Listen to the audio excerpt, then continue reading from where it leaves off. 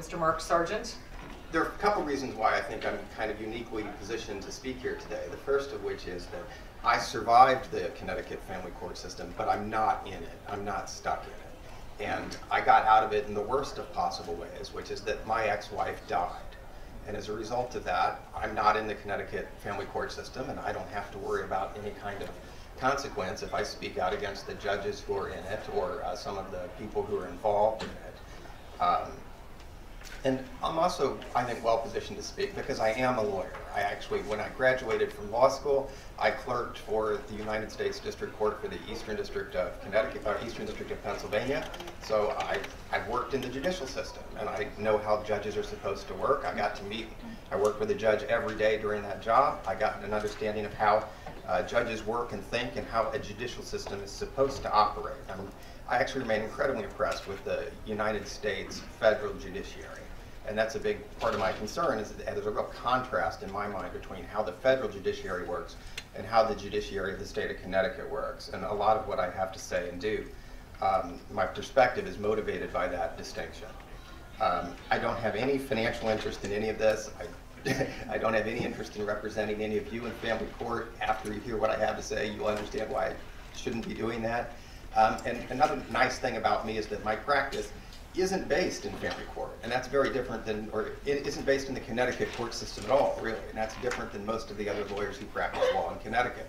So, for example, if I'm representing a, a parent or a special education child in a dispute with a school district, initially the dispute happens with the school district and their attorneys, and then to the extent we can't resolve something, there's an administrative process. We have what we call a special education due process hearing, uh, which is an administrative process that the State Department of Education kind of runs. They appoint a hearing officer. And then to the extent that I don't get the right outcome in that proceeding uh, or the school district appeals, you can appeal to the United States uh, District Court for the District of Connecticut. So for the most part, my practice doesn't touch the Connecticut court system, and that's really important because there are a whole bunch of things about Connecticut's legal system that are very different than other states, and I think probably aren't obvious to people. The first of which is we're a really small state. And what that means is there's a pretty decent probability that if you're a lawyer that's and you're litigating in the Connecticut state court system, sooner or later you're going to run into any given judge. I mean, if you practice for long enough, sooner or later it, it's going to happen. And I think that makes lawyers really reluctant to speak out when they have concerns about judges. Uh, and I will tell you one odd thing when I started speaking out about family court reform, an enormous number of lawyers who've had nothing to do with family court have come to me and said that they are really proud of me and that what I'm doing is really necessary. But it goes kind of unspoken that there's no possible way that they could do that, right? So I have kind of a privilege, if you will, in the sense that I'm not involved in it. Um, and I will tell you that my view of the Connecticut family court system is that it's absolutely horrific. And the way I will present that is I will tell you some of my personal experiences in the Connecticut family court system. And because of my unique circumstances, I think my divorce was very different than other people's divorces, okay? So in contrast to a lot of people who have no access to their children, as a practical matter, I had access to my kids 24-7. You know, I was the person who had all the parenting time. Relatively um, early in the process, as things go, I had sole legal custody of my children, okay? Um, and that makes me pretty different. So I was kind of the opposite of the alienated parent. Um, and then after I tell you my personal experience, uh, then I will share with you some other experiences that I have come across uh, in the Connecticut family court system. And then I hope to step back and build what I call an economic model that explains what's going on. So in the preview, you may have heard that I'm, as I tell my children, a grad school dropout because I was a JD PhD student at the University of Pennsylvania, and while I finished law school, I didn't finish the PhD program. I did all the coursework, I got a master's degree, I, I passed the uh, preliminary exams, I passed the field exams, but I was practicing law at a very prestigious law firm in Manhattan after that. I was making a lot of money, and I frankly enjoyed that. Um, and as a result, I never finished the PhD program. I do, however, view myself very much as an economist. I tend to step back and say, okay, what are people's economic incentives in a specific situation, and how does that explain the world? And I think that that can shed some insight into what's going on in the Connecticut family law system and why it's so difficult to fix. Okay? So at the beginning, my personal experience, and I'm pretty open about my divorce, um, and so you should feel free to ask me more questions about it. I do try and keep my kids out of it. Uh, but the short of it is my, my divorce involved the following. it involved uh, two guardian ad litems for my children, including one whom I managed to get dismissed for cause. And that's an impossible achievement in the Connecticut family court system. I think that I'm the first litigant to ever have his guardian ad litem dismissed for cause. To my knowledge, I think I'm still the only uh, litigant to have his guardian ad litem dismissed for cause. Um, it's basically impossible to do because you'll find out you have no legal standing to even ask that your guardian ad litem to be dismissed, and then she has absolute, complete legal immunity from anything she does. But I didn't do that until after she had billed me more than $100,000. And I want to be absolutely clear. At the time that I was divorced, my ex-wife was on long-term disability for mental health reasons, and I was a stay-at-home dad. Okay, I had left an investment banking job on Wall Street, and I was subject to a non-compete, so I was taking care of the kids uh, when my wife's disability became, uh, my, my, my wife's illness became disabling, and she was on disability. She was for all the rest of that, okay? Um, the, the guardian ad, one of the two guardian ad litems, the first of the two guardian ad litems who was appointed for my kids, uh, in turn managed to, to, get appointed for her uh, a lawyer to represent her. And that came about when I started to challenge the acts of the guardian ad litem and her integrity and said, this is ridiculous. You know, what you're doing has nothing to do with the best interest of my children. Um, you're violating my rights, you're violating my children's rights. Uh, I'm not, and you're just stealing money from me. You're just stealing huge amounts of money from me and I, I won't have any of that. I'm, I'm going to get rid of you, and I'm, I'm kind of done dealing with you. But then at that point, she went to the judge and asked the judge to appoint a lawyer to represent her at my expense. Now, in Connecticut, first of all, the guardian ad litem had no legal authority to even make a motion. You understand? One of the huge problems with guardian ad litems in general is that their legal role is completely undefined. It's completely uh, undescribed. So basically, they can do whatever they want, and it's whatever they get away with. As a lawyer, I knew that she wasn't a party to the proceeding. She hadn't filed a motion to intervene. I kind of thought she wasn't a witness because while she was speaking in court all the time, she wasn't under oath um, she wasn't being asked questions. The rules of evidence didn't seem to apply to her. The vast majority of what she said was inadmissible. It was either hearsay or worse. So I didn't really know what, what the guardian ad litem was. And when a guardian ad litem was first appointed for my kids, I thought it was a great idea. While I'm a lawyer, had no experience with the family law system and certainly not in Connecticut. And I thought, wow, isn't it really nice the state of Connecticut cares enough about my kids that they appoint uh, someone to represent the best interest of my kids. I will tell you the bell did go off where I kept thinking, you know what, as a constitutional matter, I'm the parents, and what parents do as a constitutional matter is they have a constitutional right to the care, custody, and control of their children. That just does. And in fact, it's really, really difficult for a state to take away the right, the parents' rights to the care, custody, and control of their children. So nonetheless, I, I didn't object when the guardian ad litem was appointed initially, but certainly over time, long after all the lawyers had been fired, you know, my ex-wife had fired hers and rotated through several ones, I eventually realized that mine were in it for their own self-interest and they weren't going to help me. And it struck me I could figure out this family law stuff. If I could figure out graduate economics at an Ivy League institution, I could certainly figure out how to practice family law in Connecticut. So I basically represented myself for uh, a, a, lot of what followed. At certain times, I did hire uh, other counsel. I was pretty careful to not hire a family lawyer I would instead hire a civil rights lawyer, which is a constitutional lawyer. And I, I, would suggest to you that's really what you need if you're going to survive in family court in Connecticut. So in terms of my personal divorce and what I experienced, there was a guardian ad litem was appointed. She did a whole bunch of things I thought were completely ridiculous, unrelated to anything to do with my children. She thought her appointment was perpetual. She at one point told me that she would be in my life until my daughter turned 18. At the start of my divorce, my children were four, six, and uh, eight. So my daughter was four years old.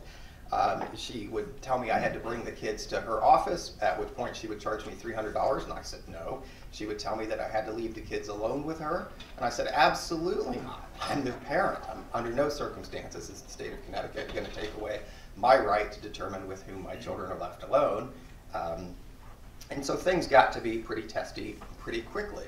And so I really expected, when I started to raise concerns about the acts of my guardian ad litem, I really expected, having worked in the federal judiciary, okay, where there's a, a, huge amount of ethical concern, I really expected to be supported by the judicial branch. I expected someone to come up to me and say, oh my gosh, I absolutely cannot believe that someone tried to use a judicial appointment in our state to take money from you.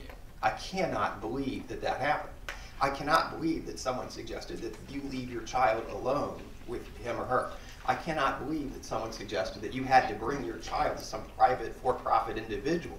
I cannot believe that all these things were happening. When I started as a judicial clerk for the United States District Court, one of the first things that happens is that the judge for whom I work sat me down and said, You are now a member of the federal judiciary of the United States of America. And what we do is we protect people's rights and we protect uh, the Constitution of the United States. And it was one of those wow moments, okay? The guy was a Nixon appointee, he was old as the hills, uh, had the, the wisdom of Solomon. And it was a wow moment. And then you later get that speech when you go through the training process from basically the, the administrative uh, people who are responsible for the court system. And that is what I expected when I first started to express concerns about corruption in the family court system. That is not what I got. Instead, what I got was this thought that I was somehow a um, disgruntled litigant. And I always think of a, there's a, a Far Side cartoon I once saw that has a guy in a suit and tie in the corner, and at the bottom it says, James was, well, not disgruntled, James was far from gruntled. And, and that's the way I feel, okay? I, I think that I'm not a disgruntled litigant, but I'm far from gruntled. I have a lot of legitimate concerns about what happens in the family court system. So I started raising concerns about um, my guardian ad litem, and I was uniquely positioned to do that. The vast majority of you, if you try and do that in your matter, the guardian ad litem is going to do the rational thing, which is award the kids to the other parent right? That's the profit maximizing strategy for the guardian ad litem is, is to do that. But again, my divorce was unique at that point in time. There was no possible way that that was going to happen because of my wife's situation. So I felt much more empowered to speak out. I will say at that point, the guardian ad litem pulled something of a trump card that I hadn't seen coming. She announced that she could see the need for foster, foster care for my children. And um, that did, I will admit, that put the fear of God in me for a minute, but then I did the lawyerly thing and stepped back and said, okay, what do you do? Well, I mean, the answer was, I went to the, the, the parents for whom I um, teach their kids Sunday school, for the, the, parents who were in Boy Scouts, for whom I was the assistant troop leader. I went to the, um, the parents for whom I had taught their children, I had coached their children uh, kindergarten Little League. I went to my neighbors, I went to my kids' therapists, uh, I went to everybody else and said, can you see any reason why my children should be in foster care? And they all said, absolutely not. And in some cases, I got those things in writing. And then I did what any good lawyer would do. I called the office of the chief state's attorney. And I think a lot of you, I think, have reached out to criminal law enforcement people. I do think there's an enormous amount of criminal activity in Connecticut's family court system. I really do believe that. I think a lot of and, and, to be clear to you, I think it involves the judges. And I think people are looking at this the wrong way. And I think that the fact that it involves the judges is what gives people pause. Okay? So, for example, if someone broke into your, your house and stole um, your couch, the way we would describe that is someone broke into my house and stole my couch. They didn't buy my couch. There wasn't a voluntary exchange. I didn't agree to sell them the couch. They didn't leave me any money or any other consideration. Now, let's say instead a, a judge says to someone, I order you, or I give you the right to, break into Mark's house and steal his couch. Then, if someone breaks into my house, and that guy breaks into my house and he steals my couch, the way I would describe that is my couch has been stolen.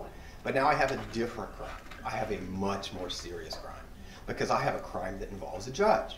And that's my way of looking at it.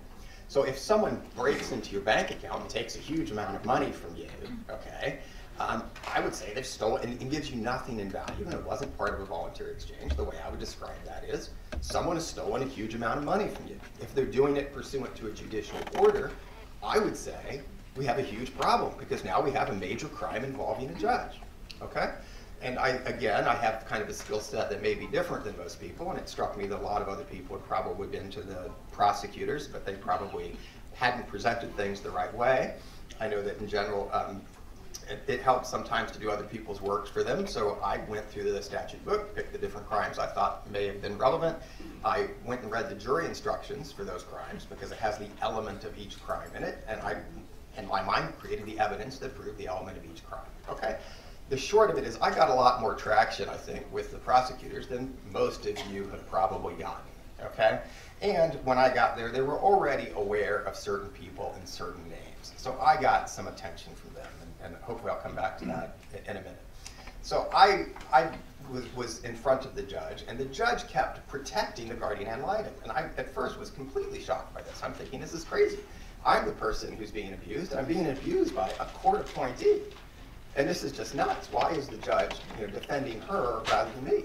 And the judge started to do, in my mind, were outrageous things. When I would um, appeal, once I got good at appealing, I really encourage you, you need to be good at appealing. In Connecticut, normally when you appeal a ruling, it stays the ruling, right, until the appeal is resolved, and that makes sense. However, there is a rule that says that if the judge orders, she can lift the stay, but then there has to be a hearing within 14 days to determine whether or not that lifting of the stay is permanent.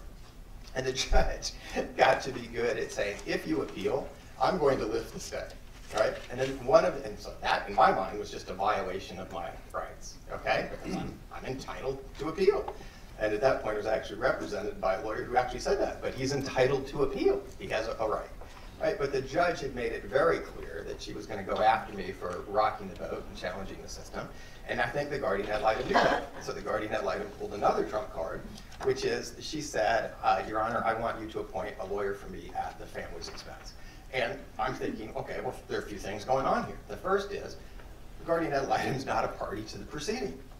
She's not allowed to file a motion to have a counsel appointed for her. Another thing that's going on is even if she were a party to the proceeding and were entitled to file such a motion, I didn't get any notice. It happened in court. She made it live and in person, right? And then I'm thinking, and there's absolutely no legal authority for her to ask the judge to appoint a counsel for her at my expense. And the judge, of course, says, I grant your motion, I appoint, and then named a specific lawyer. And I'm thinking, wow, that's really fascinating because there's a whole bunch of things that have gone wrong from a, legal standpoint here. And who is this specific lawyer? And, and, and why, how does she know he's even available? Okay? Some of the answers to those questions came up later because when I went and looked at this lawyer, it turns out he had been um, named as a defendant in a lot, lot of lawsuits. He had been sued by a lot of his former clients, and one of the lawsuits in which he'd been named a defendant was a suit against the state grievance board where they actually had um, found against him and ordered him to pay $200,000, I think it was, to a client from whom he had essentially defrauded. By the way, in Connecticut, that's shocking. Because except for people who like speak out against the judicial system, judges, I mean lawyers, the grievance, the legal grievance system in Connecticut does not work. So the fact that the judge actually managed to find and appoint by name a specific lawyer uh, who had a grievance history is, is, fascinating to me. And then I quickly found out that the, the lawyer who'd been appointed to represent my guardian ad litem in my dispute at my expense uh, had one other feature that made him kind of unique in Connecticut. He was arguably the most expensive lawyer in Connecticut. He billed $800 an hour. So at a time, at a time when um, I was a stay-at-home dad. My ex-wife is on is on disability. Um, I'm being required to pay guardian ad litem for $300 an hour, and this lawyer who shows up for her, who uh, then claims that he's entitled to $800 an hour. And I was curious about the fact that the judge appointed the lawyer by name. Okay, and the reason for that is that when I clerked for the federal judiciary, we had a whole bunch of situations under which a judge is required to recuse the judge from the proceeding. The judge is required to recuse the judge from the proceeding if the judge knows any of the material witnesses. Okay, now that's a huge problem with the way things happen in Connecticut because there are other states that have guardian ad litems. To my knowledge, there are, and they're much more limited. There are caps on their fees. They don't have judicial immunity. They're uh, appointed for specific tasks rather than a, a general objective that's undefined. But in all of these other states, to my knowledge, that appoint guardian ad litems and attorneys for the minor children, the judge cannot pick the individual. And that makes absolute total sense because, again, when I clerked in the federal judiciary, if the judge knew any of the witnesses or any of the parties to the proceeding, the judge would recuse himself. You were required to do that.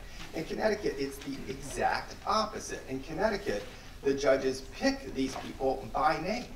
Now, one of my colleagues, who was a, a judge, a family law judge in the Pacific Northwest, um, absolutely refused to believe this was true because in his state they did have guardian ad litems who could bill, I think, up to $3,000 or something de minimis like that.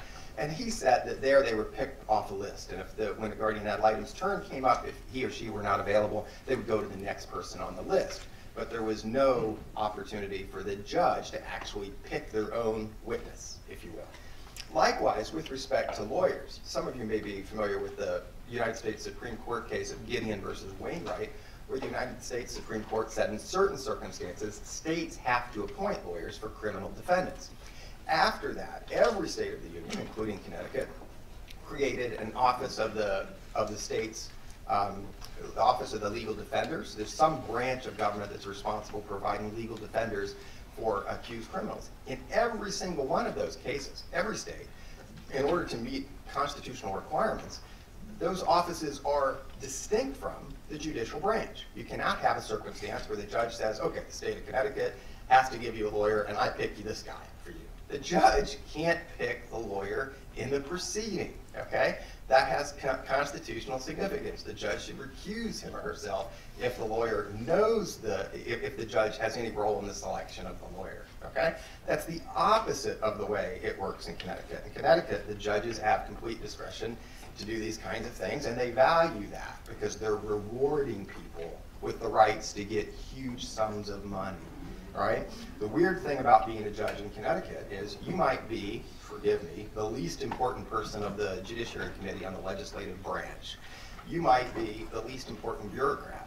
But when you get appointed a family court judge, you go from becoming a person who can't buy a stapler without some supervisor's permission into someone who has the ability to completely raid a family's finances with absolutely no accountability. And in, in a state, in a state, save the applause for the end, because you're going to slow me down. In a state like Connecticut, where there really are billionaires who live in Greenwich, right? You have these former state bureaucrats who suddenly are a state judge, and they realize they have the keys to the kingdom. They literally control an entire state, you know, billionaires' entire state. They can spend as much of it as they want with absolutely no accountability back to my divorce. So um, the, the, short of it was that I filed a motion to remove the guardian ad litem. Like anyone else who's ever done that in Connecticut, I was promptly told I did not have standing to do that. In Connecticut, there's a legal doctrine entirely made up by the, the, the courts, because all of these rules are entirely made up by the courts. It says that a litigant does not have standing to, to even remove his guardian ad litem.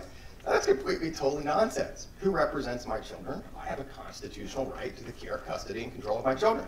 In fact, by the time we get around to this part, it's a post-judgment proceeding. I had sole legal custody of my children.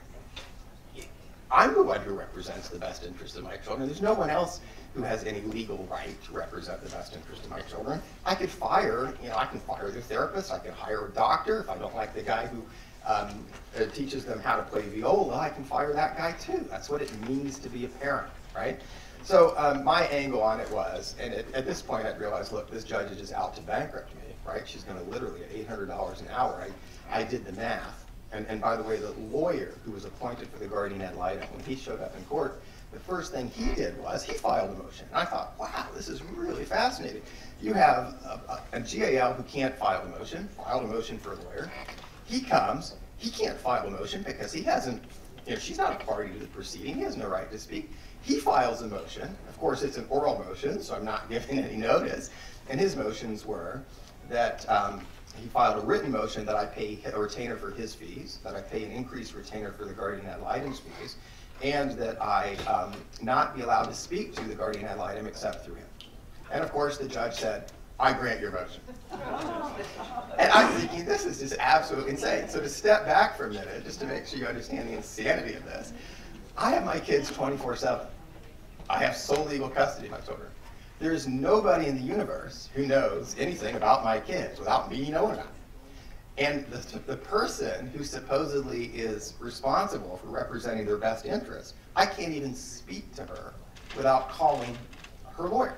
But of course, if you know legal rules, there's, there's a difference, which is I knew that um, I, I, had a lawyer at that time, okay, because I went and hired someone and said, listen, this judge is going to run me out to zero.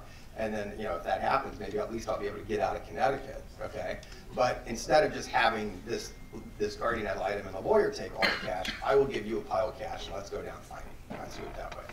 So we decided to put up the good fight. And since I had a lawyer, in order for me to contact the guardian ad litem who represented my children before the court with a concern about my children, I had to call my lawyer, right, who's going to charge me several hundred dollars an hour.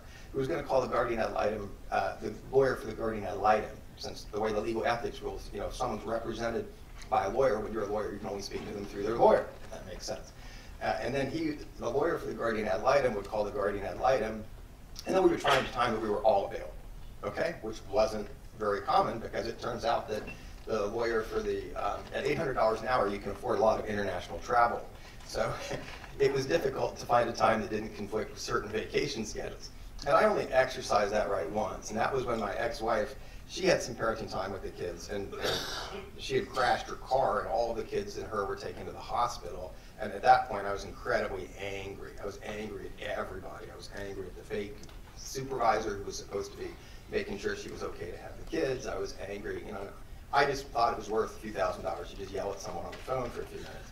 So it took two weeks to arrange the meeting to have that, and uh, I did that. I, I yelled at the, the guy on the phone. And by the way, at this point, I had no, no, there was no chance I was going to pay a lawyer for the guardian ad litem anything. I also wasn't going to pay the guardian ad litem anything because at that point, I was basically willing to um, be incarcerated for contempt if I was ordered to do anything nonsensical, and I was just trying to figure out how to, to get my kids into the best place, okay? Okay, so uh, Minnie tells me five minutes. So let me spend my five minutes on, on this. And also, I have a lot of thoughts on psyche evals. My family went through three psyche evals, including two at the same time. Um, as someone who practices special education law, I, I work with psychological evaluations.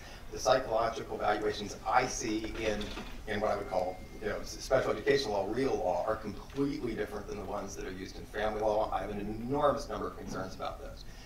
So let me step back and, and, and tell you um, some other things I saw. So when I was on jury duty, I saw three, um, I was on jury duty in Stamford. And basically I skipped out on jury duty and I went and sat in on three family court matters a while ago. And in the first one, there was a dispute where the um, guardian ad litem had not credited the parents with like $10,000 or something. And both of the parents were basically at really mad because the guardian ad litem was being replaced. Um, and the judge basically said, you know, she has absolute immunity, you might as well just pay her. And that was one of those interesting things to me where it's like, wow, the worse you are as a guardian ad litem, the more profitable it is. Because if you just don't credit people for, you know, $10,000 check, you get to bill them for straightening out the mess. You get to go to court to, to deal with straightening out the mess. It's just, you know, it, it's a process that encourages malfeasance. The second matter involved some mom who was had been on, under supervised visitation for an entire year, okay, um, and the, the, both the mother, the, the guardian ad litem, and some court-appointed therapists were yelling at each other in court to blame the fact that no, everyone agreed this mom didn't have to be supervised, um, but and, and there was just no way to eliminate it, in short. So people were arguing about that. In the third matter, which was particularly interesting, an attorney for the minor children, or more accurately, an attorney representing the attorney for the minor children, was collecting on an a, attorney for the minor children bill that was $382,000. That was just the unpaid portion of the attorney for the minor children's uh, bill, and she had managed to get a lien against uh, one of the family's homes to secure her supposed unpaid bill, and she was asking the judge to execute on the lien and, um, to, to, quote her um, motion, to have the mother incarcerated until such time as the mother closes, the, signs the, the documents that allow the, the court, the, the house to be transferred so it can be sold to satisfy the unpaid bill for the attorney for the minor children. So at this point, I do the economist thing. I step back and say, okay, what's really going on here? What are the incentives in the system that are leading to these kinds of outcomes? And I, when I identify the different parties in the system, I think first you have parents. And I decided to assume that the parents were going to act in the best interest of kids. Interestingly, that's exactly the opposite. Uh, that's completely consistent with the U.S. Constitution. It's the opposite of the way the family court system works in Connecticut. In Connecticut, there's a legal doctrine that basically assumes that parents who are involved in family court proceedings are incapable. They're so emotional and caught up in their own needs, they're incapable of representing the best interest of their children. Therefore, there effectively has to be a guardian ad litem. That's crazy. But I assume the parents are going to do the best thing for their kids or their family as they broadly defined it. Okay. The second person was the the lawyers. That's easy. They're for-profit, you know, profit maximizing individuals. They're out to make a living. Uh, and then the third group of people are all these people who are supposedly appointed to represent kids. And there's a huge variety of them.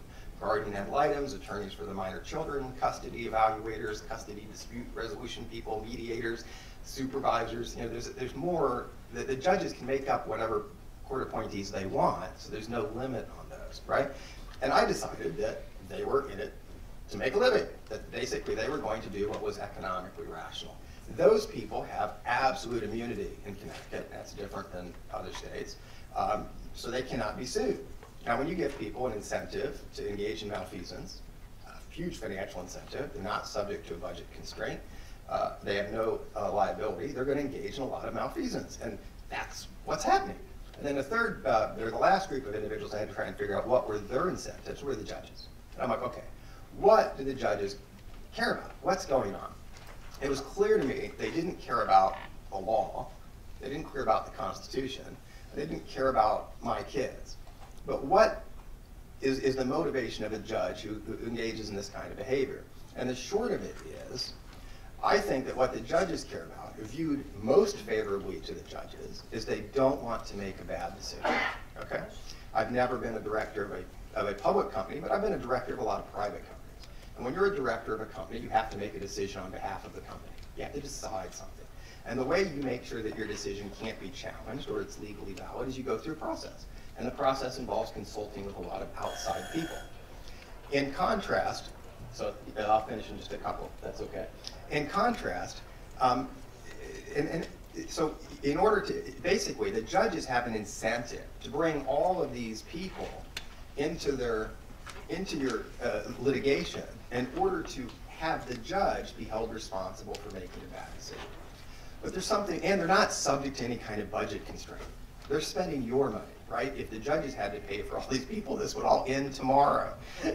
Um, there's another thing going on. The judges have a huge incentive to not make a decision at all, right? And you see that in family court all of the time. The, the whole thing is designed so that you cannot get your matter resolved. Everybody's supposed to be there on the same open calendar day, but their judges aren't available. You file a motion, it's, it shows up at some random time on the short calendar, you have to mark it ready, you go to court, you're not going to be heard that day, right? This process is designed to tax and punish litigants to get them out of the system without the judge making a decision. The judges are like the guardian ad litem. They have immunity. They're not subject to any oversight. They're not subject to any discipline. You know, the, the, there is a disciplinary board for judges in this state, but they've never ever held a judge accountable. Most of the time, if you file a grievance against a judge, what will happen is that it will be found not to have probable cause, and it doesn't make a difference what's in your grievance. Okay, that system uh, doesn't work. Thank you.